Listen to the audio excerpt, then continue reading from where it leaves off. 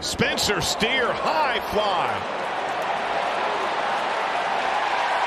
And long gone.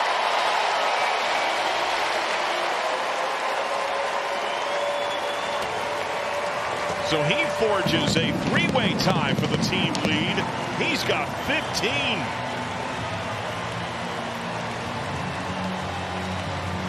One nothing.